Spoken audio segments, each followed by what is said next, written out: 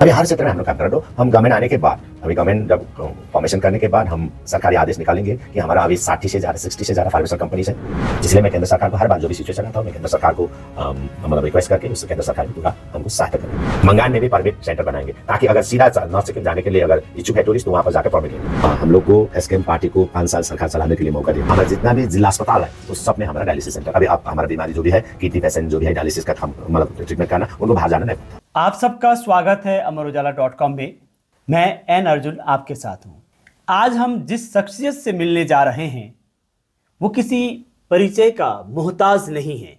पूर्वोत्तर भारत का एक छोटा सा राज्य है शांत, सिक्किम, जो पर्यटन का बहुत बड़ा केंद्र है। और वहाँ के मुख्यमंत्री श्री प्रेम सिंह तमांग जी से आज हम बात करने जा रहे हैं, जिनको लोग यहाँ पर प्रेम से गोले कहते हैं। और उनको इतना प्रेम, आप देख सकते हैं कि सर की जो मुस्कान है, वो आपको बता रही है कि जनता के साथ उनका कनेक्शन कितना है, किस तरह की भावनाएँ उनकी जनता के साथ जुड़ी हुई हैं। और चुनाव के इस इतने बिज़ी शेड्यूल में सर ने अमर उजाला के लिए समय निकाला। सर, इसके लिए बहुत बहुत धन्यवाद। ओके थैंक यू और आपको भी मैं धन्यवाद देना चाहता हूँ, क्योंकि आप भी व्यस्त समय निकाल के मेरा अपना सरकारी आवास में आए इसके लिए मैं धन्यवाद देना चाहता हूँ और स्वागत जनाना चाहता हूँ।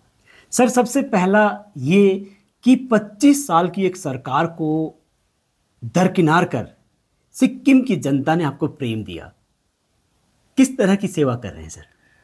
आ, मैं आपको बताना चाहता हूँ कि सिक्किम का जनता ने एस पार्टी को 25 साल तक मौका दिया। लेकिन ये 25 साल में एस सरकार ने जनता को गुमराह करके रखा कि जनता को मैं आपको लाखपति बनाऊँगा, करोड़पति बनाऊँगा। ये ऐसा एक झांसा, झूठा वादा करके रखा है। और बाद में जो जनता ने समझ लिया, सिक्किम का जनता ने कि एस पार्टी एक झूठ का पार्टी है। एस पार्टी ने कुछ भी जनता के लिए नहीं करेंगे और बस एस पार्टी और एस सरकार करेंगे तो उनका परिवार का करेंगे, उनका व्यापार का साम्राज्य को बढ़ाने के लिए करेंगे और विशेष रूप से दो चार आदमी का आदमी को बड़ा बनाने के लिए काम करेंगे, लेकिन गरीब के लिए काम नहीं करेंगे और गरीब को हर चुनाव में बस खाली, चुनाव के आगे ही उनको कोई सहूलियत देना, कुछ देना तो चुनाव के आगे करता, लेकिन जो पाँच साल का सरकार, पच्चीस साल का सरकार में कभी भी जनता के हित में नहीं काम काम नहीं किया एस पार्टी का सरकार ने। इसलिए इसलिए सिक्किम का संपूर्ण जनता ने एस पार्टी को विश्वास करके, भरोसा करके, व्यवस्था परिवर्तन के नाम में दो हज़ार उन्नीस में हम लोग को चुन के सरकार में रखा है और हमने भी पाँच साल का कार्यकाल पूरा किया है। मैं इसलिए जनता को पहले से ही पहला ही मैं जनता को मैं धन्यवाद देना चाहता हूँ। हम लोग को एस पार्टी को पाँच साल सरकार चलाने के लिए मौका दिया। और हम लोग ने जो चुनाव के समय में जितना भी वादे किए थे जनता को हम लोग ने ये पाँच साल में हम लोग ने वो वादे को पूरा किया। लेकिन आप सबको मालूम है ये पाँच साल में जो गुजरा है जो चुनौती के साथ हम लोग ने लड़ा है वो सबको मालूम है देश को मालूम है और विश्व को भी मालूम है क्योंकि 2020 में जो हम लोग ने 2019 में हम लोग ने सरकार बनाया। 2020 में हम लोग काम करने के लिए पूरा तैयार था लेकिन विश्व महामारी वैश्विक वैश्विक महामारी जी सर मेरा अगला सवाल इसी पे है कोविड नाइन्टीन के कारण हम लोग ने वो समय नहीं मिला और 2021 में भी ऐसा हुआ दो सौ दो सौ लहर उठला। लेकिन हम लोग ने ये सबको छोड़ के हमने जो करना था सिक्किम में जो स्वास्थ्य के क्षेत्र में काम करना शिक्षा के क्षेत्र में काम करना। एंड जितना भी हमारा योजना है जो गाँव गाँव में गरीब के लिए योजना वो हम लोग ने शुरू किया है। जी। सर जैसे ही आपको जनता ने एक मौका दिया और कोविड आ गई कोविड से आप किसी तरह से निकले उसके बाद जो है बाढ़ आ गई। इसके बावजूद आपने सिक्किम की जनता के लिए कौन कौन से ऐसे प्रयास किए जिससे उनका जीवन बदल गया? सबसे पहला तो हमारा प्रायोरिटी था स्वास्थ्य। क्योंकि यहाँ का सिक्किम का लोग जितना भी बीमार होता तो वो बाह- बाहर जाना पड़ता था। आपको मैं उदाहरण देना चाहता हूँ पच्चीस साल के सरकार में हमारा सिक्किम में ज़्यादातर हमारा डायलिसिस पेशेंट है या किडनी का पेशेंट है या डायबिटिक पेशेंट है। इसके कारण हमारा पेशेंट जितना भी बीमार है वो डायलिसिस करना उनको ज़रूरी है। लेकिन 25 साल के सरकार में सिक्किम का एक भी अस्पताल में हॉस्पिटल में जो राज्य के अस्पताल में भी एक डायलिसिस सेंटर नहीं खोला वो लोग ने। लेकिन कोविड के बावजूद कोविड से लड़ते हुए हम लोग ने सरकार आ, आ, जब आया उसी दौरान आने के बाद ही हम लोग ने हम लोग ने सोचा कि हमारा जितना भी लोग अभी डायलिसिस के लिए किडनी डायलिसिस के लिए वो लोग बाहर जाना पड़ रहा है। नज़दीक तो नज़दीक सिलगढ़ी या कलकत्ता दिल्ली चेन्नई बेंगलोर और जो भी जाना जाना पड़ा, उनको हम लोग यहीं करेंगे उनको ट्रीटमेंट इसलिए हम लोग ने सरकार आने का एक साल के अंदर अंदर हम लोग ने कोविड के समय में ही हम लोग ने डायलिसिस सेंटर हम लोग ने शुरू किया। और आज मैं को, आज आज आज मैं आपको बताना चाहता हूँ, हमारा जितना भी जिला अस्पताल है उस सब में हमारा डायलिसिस सेंटर, अभी आप, हमारा बीमारी जो भी है, किडनी पेशेंट जो भी है, डायलिसिस का काम मतलब ट्रीटमेंट करना, उनको बाहर जाना नहीं पड़ता। और हम लोग ने फिर उसके बाद अपना सरकार का गवर्नमेंट का तो है डायलिसिस लेकिन उसके बावजूद भी हम लोग ने जो भी प्राइवेट अगर डायलिसिस सेंटर खोलना चाहते हैं उनको भी हम लोग ने पूरा सपोर्ट करके गवर्नमेंट का सपोर्ट करके हम लोग ने खुलवाया है। उसके बाद कैंसर ट्रीटमेंट जो एक साधारण कैंसर हर जगह होता है। आपको है नॉर्थ ईस्ट में हर जगह में हर स्टेट में हर राज्य में है। लेकिन कैंसर के लिए केमो के लिए बाहर जाना पड़ता था। सबसे नज़दीक सिलगढ़ी का रंगपानी नहीं तो दिल्ली कलकत्ता भेलोर सब यहाँ जाना। बहुत खर्चा होता था, बहुत दिक्कत, बहुत समस्या होता था। लेकिन ए भी 25 साल में उन, उस सॉल्व नहीं किया। तो हम लोग ने ए भी शुरू किया। हम लोग ने कैंसर का कैमो और रेडिएशन का सेंटर यहाँ शुरू किया। अभी वो लोग कर रहा है। और जितना भी हम, जितना भी हमारा सुपर स्पेशलिस्ट को ले आना था, हम लोग ने सब मतलब डिपार्टमेंट में सुपर स्पेशलिस्ट ले आए हैं। अभी हमारा जितना भी ट्रीटमेंट हो यहाँ पर होना है सब हो रहा है। जैसा किडनी किडनी का डायलिसिस पेशेंट को यहाँ ट्रीटमेंट होगा और कैमो का होगा। इसी तरह से हम लोग ने स्वास्थ्य में हर और हर घर में हम लोग ने विलेज क्लिनिक शुरू किया। Village clinic mobile village clinic mobile village clinic के द्वारा हर गाँव में हमारा जो एक गाड़ी है एंबुलेंस है एंबुलेंस के साथ डॉक्टर और नर्सेस जाके गाँव गाँव में टेस्ट करता है चेक करता है बीमारी को और दवाई वहाँ पर देता है। फ्री दवाई हम लोग मतलब डिस्ट्रीब्यूट करता है। इसके बावजूद हम लोग ने हर अस्पताल को अपग्रेड करने के लिए हम लोग ने काम किया। जैसा नामची में जी। नामची एक डिस्ट्रिक्ट है जहाँ पर हमारा गेजिंग जिला और सोरेंग जिला का जितना भी बीमारी है वहाँ आता था। वो एक सेंटर था। लेकिन वहाँ पर 1975 से पहला जब सिक्किम मतलब भारत का हिस्सा हाँ, भारत का हिस्सा नहीं था जी। उसी समय बनाया हुआ अस्पताल था हॉस्पिटल था। अभी हर क्षेत्र में हम लोग काम कर रहे हैं। तो हम गवर्नमेंट आने के बाद अभी गवर्नमेंट जब फॉर्मेशन करने के बाद हम सरकारी आदेश निकालेंगे कि हमारा अभी साठी से ज़्यादा सिक्सटी से ज़्यादा फार्मेसल कंपनीज़ है। तो अभी वो कंपनी को हम नोट बाई नोटिफिकेशन हम निकालेंगे कि हर कंपनी को एक स्पोर्ट्स क्लब को एडप्ट करना पड़ेगा। जी। हर कंपनी को एक कल्चर क्लब को एडप्ट करना पड़ेगा वो ईयरली उनको फंडिंग करना पड़ेगा स्पॉन्सर करना पड़ेगा। अभी हमारा सिक्किम में स्पॉन्सर जो सिस्टम अभी नए ऐसा हर क्षेत्र में हम लोग काम कर रहे हैं। जी। सर ये अ, ये राज्य जो है वो इंटरनेशनल बॉर्डर के साथ जुड़ा हुआ है तो केंद्र सरकार को आपको किस तरह की मदद और किस तरह का सहयोग मिलता है सर? सिक्किम अभी तीन इंटरनेशनल बॉर्डर है तीन अं- अंतर्राष्ट्रीय बॉर्डर जैसे एक तो चाइना है रथुला गुरुदुंगमा और एक तो नेपाल बॉर्डर है एक तो भूटान है। तो जो सिक्किम का हमारा नागरिक का फीलिंग है वी आर इंडियन तो हमारा हमारा राज्य हमारा देश सुरक्षित होना चाहिए। इसी तहत इसी विचार के धारा में हम लोग काम करता है।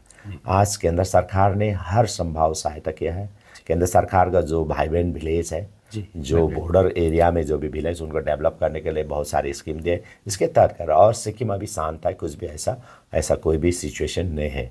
इसलिए मैं केंद्र सरकार को हर बार जो भी सिचुएशन आता हूँ मैं केंद्र सरकार को मतलब रिक्वेस्ट करके उस केंद्र सरकार भी पूरा हमको सहायता कर रहा है पूरा। पूरा।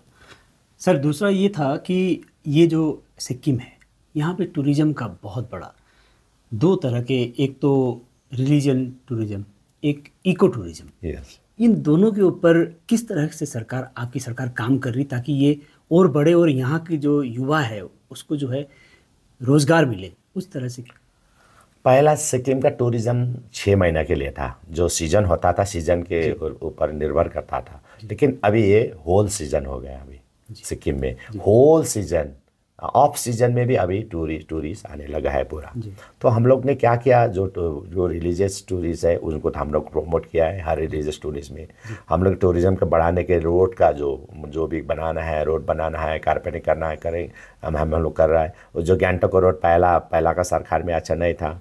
हाँ, वो हम लोग ने पूरा पूरा हम ने कारपेटिंग किया है काम किया है। तो हम लोग रोड के सेक्टर में काम करें क्योंकि टूरिज़्म का अगर आगे बढ़ाना है तो हम लोग उस रोड को ठीक करना है। और उनको जो भी टूरिस्ट को आसान होना चाहिए परमिट के लिए सब हम लोग कर रहा है। उसके बावजूद अभी सिक्किम में अपना मतलब जितना भी टाउन है उसमें दाँत है बड़ा बड़ा होटल है हमारा। जैसा भी फाइव स्टार होटल वगैरह भी आ गए बहुत सारे आ गए। तो उसके बावजूद भी उस उसके अलावे हम लोग अभी भीले विलेज टूरिज़्म को हम लोग बढ़ा रहे हैं होम स्टे को। पूरा। अभी टूरिस्ट गैंगटॉक नहीं आता वो लोग सीधा गाँव चला जाता है। और हम लोग जैसे पहला तो हर टूरिस्ट को रंफू में आना पड़ता था क्योंकि उनको फॉरेन रजिस्ट्रेशन के लिए। अभी हम लोग ने रामभांग में सोरेंग जिला में खोला है। डायरेक्टली गैंगटॉक से वो लोग वहाँ जा सकते थे। पहले घूम के जाना था। तो हर लोग एक फैसिलिटी कर रहे हैं। जैसे नॉर्थ सिक्किम में बहुत सारे टूरिस्ट जाता है। गुरुदुंगमा लाचिन लाचुंग ये सब जाता है। इसीलिए हम लोग अब मंगान में भी परमिट सेंटर बनाएँगे, ताकि अगर सीधा नॉर्थ सिक्किम जाने के लिए अगर इच्छुक है टूरिस्ट तो वहाँ पर जाकर परमिट लेना पड़े, ले ले सके। लेकिन पहला था यहाँ गैंगटोक में सेंटर था। गैंगटोक हर टूरिस्ट को गैंगटोक आना पड़ता था। तो ऐसा करके हम लोग ने अभी विलेज टूरिज़्म को बढ़ावा देने के लिए हम लोग ने home stay mega home stay शुरू किया है। मेगा होम स्टे में करीब करीब दो हज़ार से ज़्यादा होम स्टे बनेंगे। और ये ट्रेडिशनल बनाना पड़ेगा अपना अपना मनमानी से नहीं होगा। उनको भूटिया सिक्किमिस भूटिया का घर बनाना होगा अगर उनको अगर वो बनाना या तो वो सिक्किमिस लेप्चा का घर बनाना होगा या तो सिक्किमिस नेपाल का घर बनाना होगा। तारी टू टूरिस्ट आके बैठेंगे तो उसको समझ आए कि यहाँ सिक्किम का भूटिया का घर सिक्किम इस भोटिया का घर सिक्किम इस लेप्चा का घर सिक्किमिस नेपाली घर। तो इसके तहत हम लोग फ्री बना रहे हैं वो होम स्टे तो फ्री बना के जितना भी हमारा अनएम्प्लॉयड यूथ है उनको हम लोग दे रहे हैं ताकि वहाँ से उनका मतलब मतलब आय बढ़े उनका व्यवसाय चले। इसलिए हम लोग इसमें प्रमोट कर रहे हैं पूरा। जी। सर आपने जो आ, सपना सिक्किम को एक बेहतर बनाने के लिए जो नौ गारंटी जो आप लेके आए हैं लोगों के लिए उस बारे में थोड़ा सा हाँ विशेष रूप से मैंने इस बार जनता के समक्ष में मैंने नौ गारंटी को मैंने स्टाम्प पेपर में लेके मैंने दिया है गारंटी ये मेरा गारंटी है। तो वो नौ गारंटी में हम लोग के आने वाले मतलब टेन्योर में हम काम करेंगे। पाँच साल में काम करेंगे। और काम करने के बाद ये नौ गारंटी है जो हम पूरा काम करेंगे। उसके बाद हम ट्वेंटी नाइन के चुनाव में जाएँगे ये नौ गारंटी को काम करके। तो हम ये नौ गारंटी में हम लोग काम करेंगे। जी। सर इस समय विधानसभा के साथ साथ लोकसभा का चुनाव भी सिक्किम में है। तो लोकसभा में आपका जो है जो देखने को मिल रहा है जिस तरह से सुनने को मिल रहा है कि आपके जो कैंडिडेट हैं ऑलरेडी सांसद हैं। तो इस बार क्या लगता है आपको कि आपका सांसद जो है वो कितना प्यार लोगों का मिलेगा? मिलेगा क्योंकि अभी हमारा संसद संसद जो अभी मतलब निवर्तमान संसद है और हमारा इस बार का हमारा उम्मीदवार है संसद के लिए अठारह मतलब पार्लियामेंट्री एटीन पार्लियामेंट्री इलेक्शन के लिए है। तो डॉक्टर इंधांग सुब्बा है जो पहला भी दो हज़ार उन्नीस का हमारा उम्मीदवार था और संसद भी बन चुके है। तो सिक्किम का जितना भी जनता है सारे सिक्किम का जनता चाहे कर्मचारी हो चाहे मजदूर हो चाहे व्यापारी वर्ग हो चाहे स्टूडेंट हो चाहे यूथ हो चाहे गाँव में बैठने वाला जितना भी हो गरीब आदमी हो सबने एस पार्टी को प्यार किया है। जी। सिक्किम क्रांतिकारी मोर्चा पार्टी को प्यार किया है। वो सिक्किम क्रांतिकारी मोर्चा पार्टी को जानता है कोई भी व्यक्ति को नहीं जानता है। और हम लोग ने पाँच साल में सिक्किम का सेवा करके सिक्किम जनता का सेवा करके उनका मन हम लोग ने जीता है प्यार मिला है। इसीलिए हर हाल में भी सिक्किम क्रांतिकारी का कैंडिडेट जो भी हो चाहे उसके इंदिरा हांग के बदले में अगर दूसरा हो चाहे उसके बदले में तीसरा हो तो वो लोग कैंडिडेट उम्मीदवार नहीं देखता है वो लोग पार्टी देखता है। किस पार्टी ने क्या किया है? तो सिक्किम क्रांतिकारी मोर्चा ने पाँच साल में पूरा काम किया है इसलिए हर हाल में भी हमारा इंद्रांग सुब्बा हमारा लोकसभा का उम्मीदवार वो पूरा पूरा जीत के फिर भी दूसरी बार संसद बनेंगे ये गारंटी है। सर मैं ये कहना चाहता सर इस समय चुनाव का बिल्कुल माहौल अब बिल्कुल जो है चार पाँच दिन रह गए तो आप क्या प्रोडिक्शन करते हैं सर इस बार कितना प्यार जनता का आपको विधानसभा में मिलेगा? जनता ने मन बना चुका है क्योंकि जैसा एक प्रिडिक्शन तो बैलेट वोट का होता है। जी। बैलेट वोट जो सरकारी कर्मचारी डालते हैं। तो 99 परसेंट बैलेट वोट में सुनाई दे रहा है देखा तो नहीं है लेकिन हर हर हर सरकारी कर्मचारी जो भी जो भी इलेक्शन ड्यूटी में पड़ा है वो लोग वो लोग अभी जा गए हाँ 99 परसेंट सिक्किम क्रांतिकारी मोर्चा के पक्ष में आ चुका है। जी। तो यही प्रिडिक्शन है। तो जी। सरकार तो बनेंगे हर हाल में बनेंगे। और इसमें कोई मतलब दुविधा नहीं क्योंकि हम लोग ने काम किया है। तो हम लोग इस बार बत्तीस में बत्तीस जो विधानसभा है एक हमारा लोकसभा है वो भी हम लोग जीतेंगे। तो जो भी अभी सिक्किम बचाने के बात कर रहा है उसी ने 25 साल में सिक्किम को बिगाड़ा है। जी। अगर आप ये वीडियो YouTube पर देख रहे हैं तो हमारे चैनल को सब्सक्राइब करें और बेल आइकन को दबाना ना भूलें। अगर आप Facebook पर ये वीडियो देख रहे हैं तो हमारे पेज को लाइक करें।